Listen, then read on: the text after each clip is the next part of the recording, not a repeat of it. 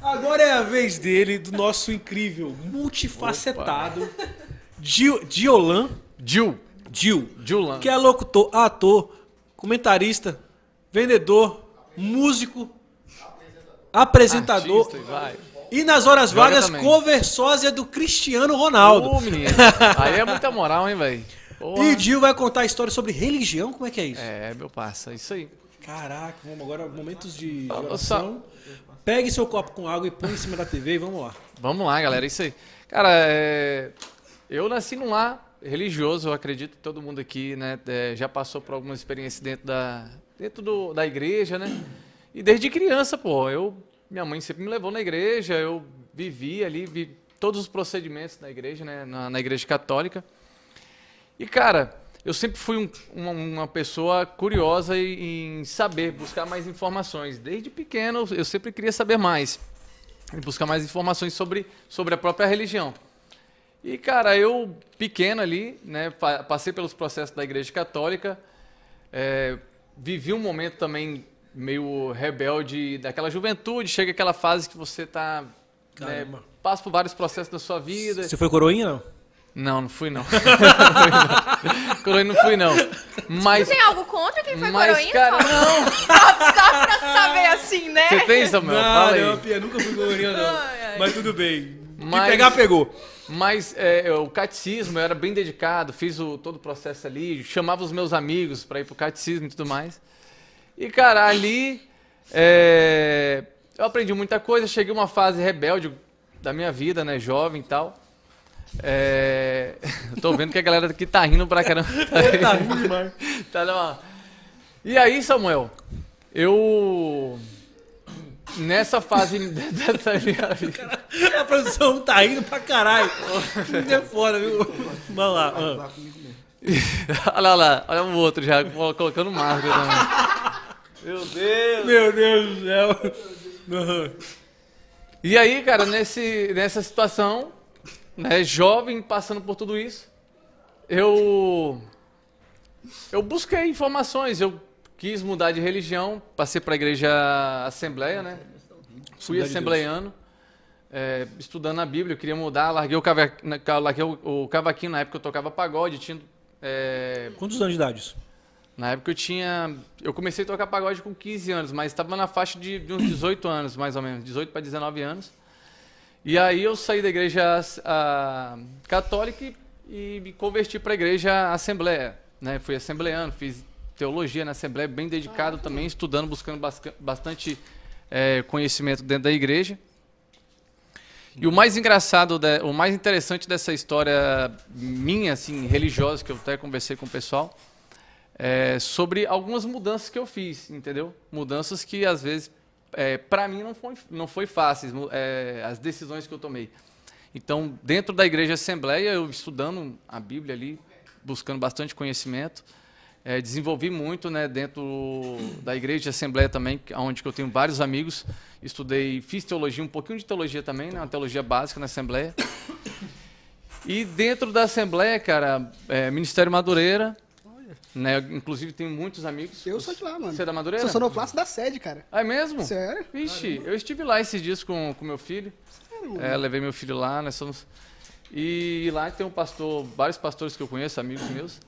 E dentro da igreja Assembleia, cara, é como eu falei lá no início, lá atrás, eu sempre fui um cara é, curioso em realmente saber o que está escrito na Bíblia, ter as minhas próprias conclusões, buscar o que realmente eu entendo como um- uma verdade. Porque eu acredito que verdade, existe várias verdades. Existe a verdade do Samuel, existe a verdade da.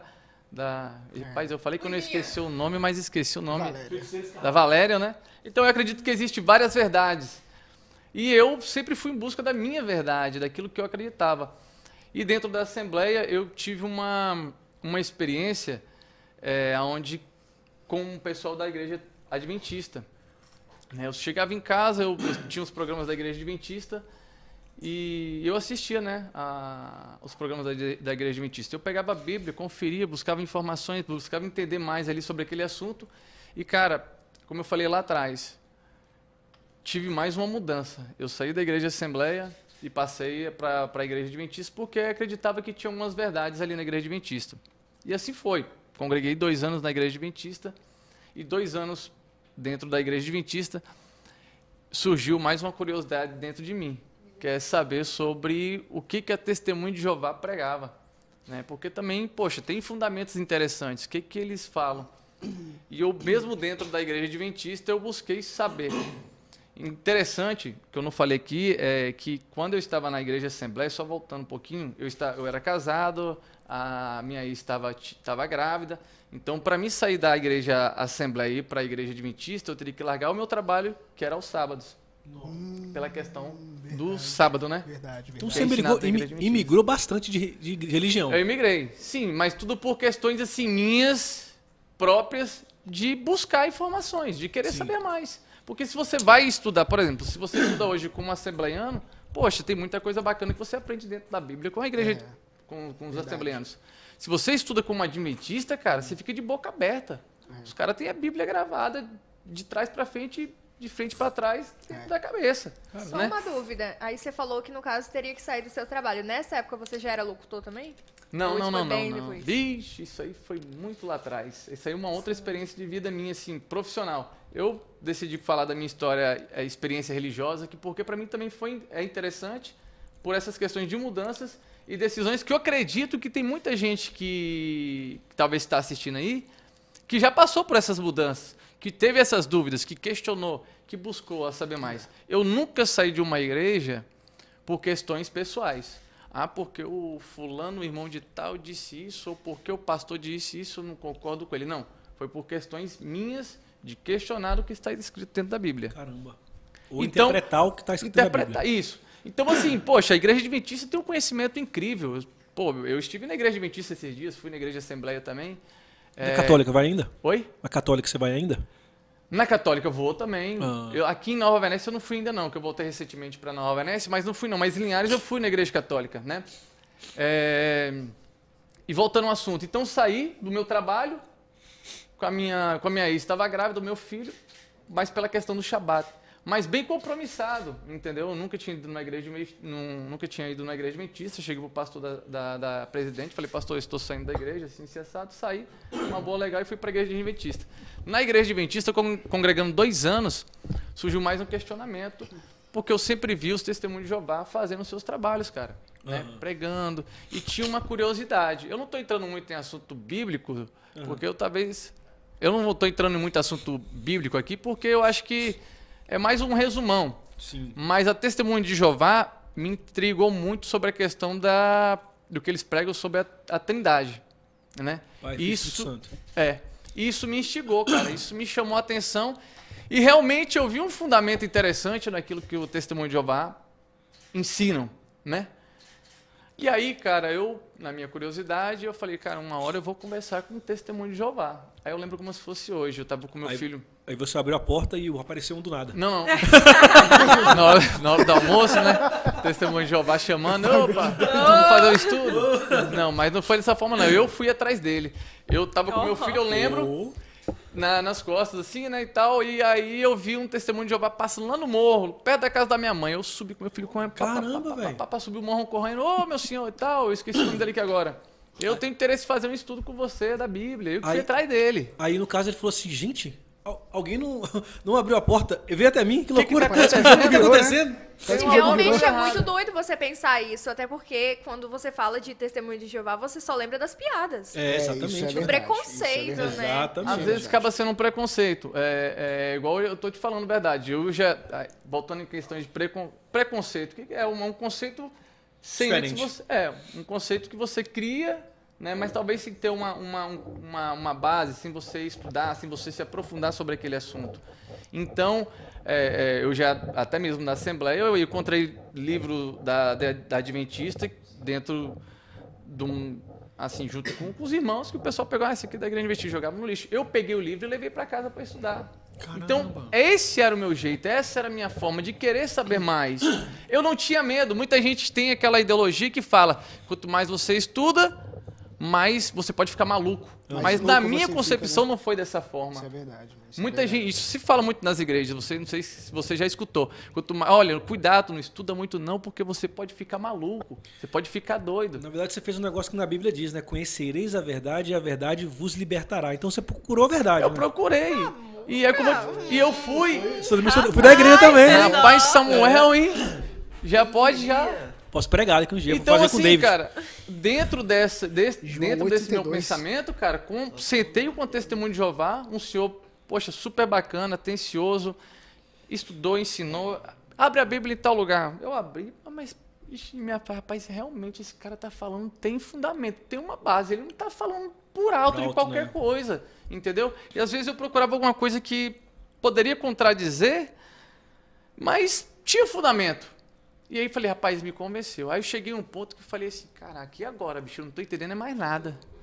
Aham. Eu não tô entendendo é mais nada, Onde que bicho. eu vou, né? Ficou sem pra direção, onde que né? eu vou, cara? Entendeu? Eu decidi, vim nesse período, fiquei quatro anos na, na Assembleia, né? Fiquei dois anos na Adventista.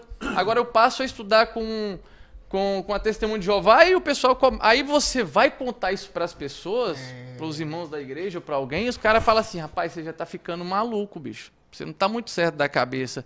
Você tá estudando demais, você tá pesquisando demais. É eu acho que você tem que frear. Frear você não tá pouquinho. normal, você não tá legal. Ficando confuso. também. É, e eu cheguei a um ponto que eu falei assim, rapaz, e agora? Eu não tô entendendo mais nada. Aí eu, eu me questionei, conversando com Deus, né, eu próprio em si, é, e falei assim, cara, eu vou, vou mais profundo.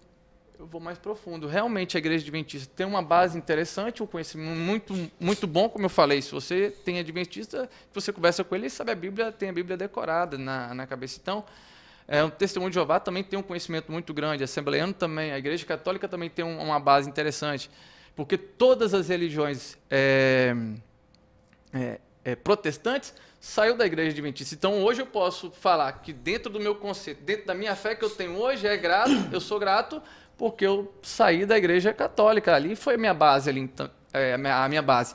Então, com a Testemunho de Jeová, com o estudo que eu fiz dentro da Igreja Adventista, eu falei, e agora? Surgiu um monte de questionamento. Todo mundo tem uma base, todo mundo tem um fundamento. Aí eu, minha- na minha curiosidade, fui para o notebook e pesquisei. Falei, pô, velho, se tudo é, dentro do cristianismo se baseia do povo judeu, se baseia de quem era Jesus? Jesus era judeu, né? Quem é- eram os pais deles? Eram judeus. Quem, da onde que a, a Bíblia veio? Através do povo judeu, veio dessa nação. Então tudo se parte dessa nação, eu vou pesquisar e saber quem é esse povo. Cara, quando eu pesquisei é, um pouquinho mais sobre a cultura do povo judeu, quem é esse povo judeu, aí o meu conceito mudou, o meu pensamento mudou e principalmente mudou sobre o que se fala sobre o povo judeu, sobre o que fala dessa nação. Muita gente não sabe que na nossa história aqui no, no- aqui no Brasil, na época na, colo- na colo- colonização eh, de Portugal, mas isso tem, document, isso tem documentos. Muitos judeus vieram para, para o Brasil, expulso eh, da Espanha. Da Espanha eles foram expulsos para, o, para Portugal. O Silvio Santos conta essa história do avô Exato. dele. Então eles foram expulsos de Portugal. Portugal não tinha lugar, lugar para eles, para, para eles irem, porque eles estavam sendo expulsos na época né, pela igreja. Então vão para onde? Vão para um lugar chamado Brasil. E muita gente que não sabe que aqui o povo brasileiro, muito brasileiro, corre sangue dele, da, sangue judeu. Muita gente não sabe que a primeira sinagoga da América, ela saiu daqui, que saiu daqui, foi para os Estados Unidos, entendeu? Então eu pesquisei a história dessa nação, eu fui profundo sobre essa história dessa nação e muitas coisas que falam sobre esse povo não é. E é um povo que hoje eh, vai fazer sete anos Você é judeu? Sete anos. Não, eu sou um. Hoje, hoje eu posso falar, eu sou um simpatizante Da- do do judaísmo. Eu não sou judeu. No vendo? judaísmo, interessante, só uma observação. No judaísmo, eles não, se, eles não fazem proselitismo. Por exemplo, eu preciso me converter para Ah, ser tá judeu porque eu tenho que ser salvo. No juda- No judaísmo não existe isso. O proselitismo, ele parte. eh, Algumas religiões fazem o proselitismo que diz o quê? Para você ser salvo, para você, você precisa ser da religião tal. No judaísmo não, não se prega isso. No judaísmo, eh, você tem a sua fé, eles têm um- um- uma, uma base. Eu não vou entrar tão profundo, mas você não precisa se converter para você ser judeu. Eu sou um simpatizante do judaísmo. Judaísmo. Eu gosto de estudar com os rabinos. Eu, eu tenho alguns contatos, alguns É vídeos. verdade que judeu é mão de vaca? Você falou sobre isso. É, não sei se você já viu, é, tanto no, em alguns vídeos, falando de- sobre prosperidade, e Uhum. muita gente estuda como prosperidade baseado no- de como que os judeus eles conseguem ser tão prósperos. Então, eu não sei assim te dizer, eu nu- nunca conheci um judeu pessoalmente. Eu já estive em Vitória, né, conversando com algumas pessoas também eu que também teve já, eu só vi judeu, é, que já passaram pelo mesmo processo. Engraçado que o que eu estou falando com vocês aqui, muita gente vai pensar assim, poxa. Tá é, mas eu achei que eu era o único de Nova Venécia, mas hoje tem muita gente passando por esse processo Caramba. também e também conhecendo o judaísmo, Que legal. entendeu? Então o povo judeu realmente é um povo que nasce desde criança aprendendo a administrar o seu dinheiro. Ah. Entendeu? É diferente. Falhou Agora, se é mão de vaca, se a questão assim é mão de vaca, eu não sei. Só que se você pode pesquisar hoje, o povo judeu, eles são uma referência sobre em como administrar o seu dinheiro. Isso depende de criança, de infância. O homem que entendeu? calculava era judeu, né? Quem? O homem que calculava. Que calcula? livro. Nunca viu, não? Não. Pô. Mas tudo bem, é, depois vocês pesquisem. Sim. então, assim, cara, é um, um- um conhecimento que hoje abriu, assim, pra mim, dentro do judaísmo, abriu muito é, a minha mente sobre pensar, sobre raciocinar. E hoje, realmente, eu, eu, eu me sinto, assim, é, realizado. Primeiramente, que eu descobri que dentro disso tudo, qual foi a minha maior experiência? Que Deus, você se encontra primeiramente dentro de você. Exatamente. Aqui tá Deus. Aqui tá Deus. Eu encontro com Ele. O certo ou errado que eu vou fazer é uma questão minha, eu com Ele. Exatamente. Agora, a denominação, aonde você vai estar, é um lugar onde você vai se conectar com pessoas e ali com certeza vai haver a presença divina. Tudo lhe é permitido, mas nem tudo lhe convém. Exatamente. Rapaz, ele Mais um tá pra vocês bem. guardarem aí. Ele tá legal, hein? Mas é isso aí. Então foi uma experiência incrível que eu tive na minha vida.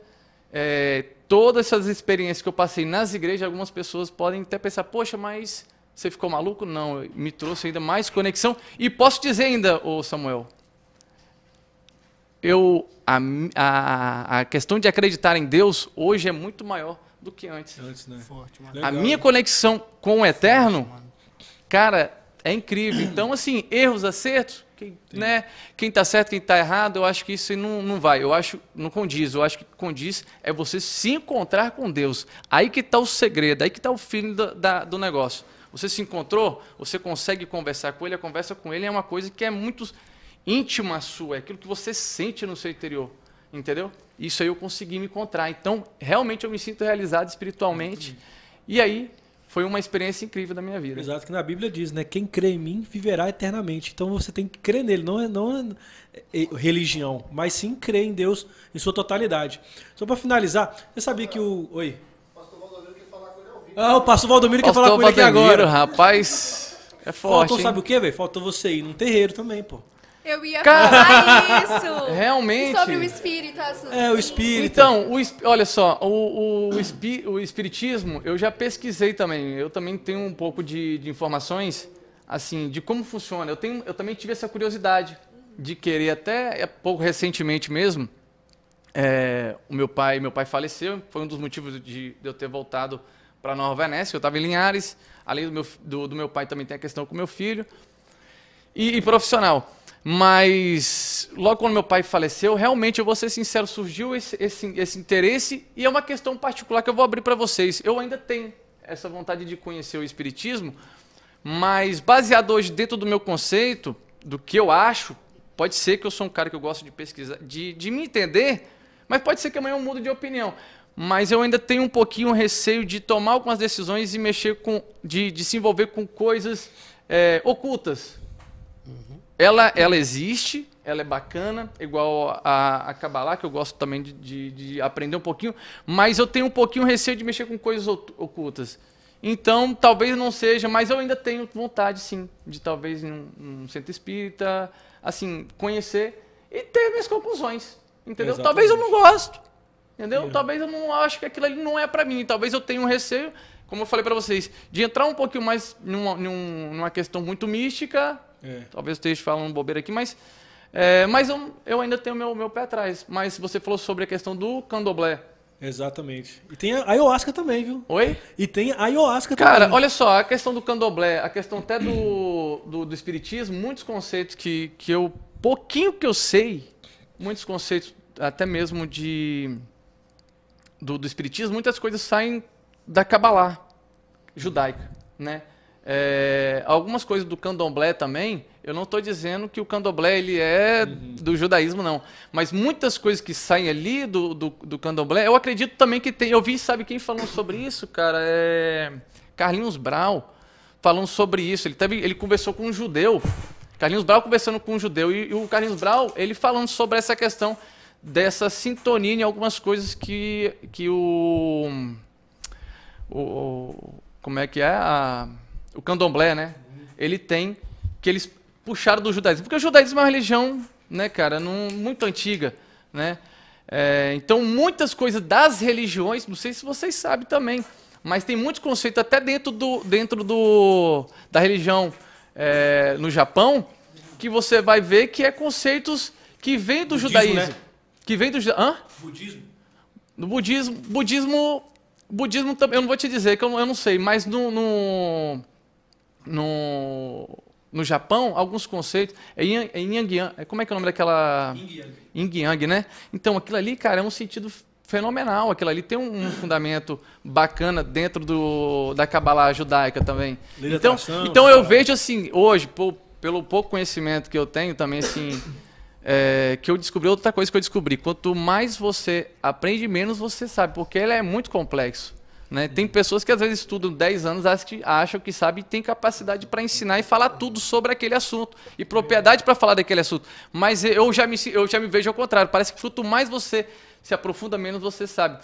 Então, assim, dentro de todas as religiões, eu vejo que muitas coisinhas é tirado do, da, também do, do judaísmo. Não estou dizendo que o é. judaísmo seja a religião mais antiga, né? Mas é, dentro dentre todas essas nações aí que existem, muitos conceitos base, de, parte desse, desse conhecimento e, judaico. E eu, assim, eu nasci também na igreja católica, aí minha mãe virou evangélica. Meu pai sempre foi católico.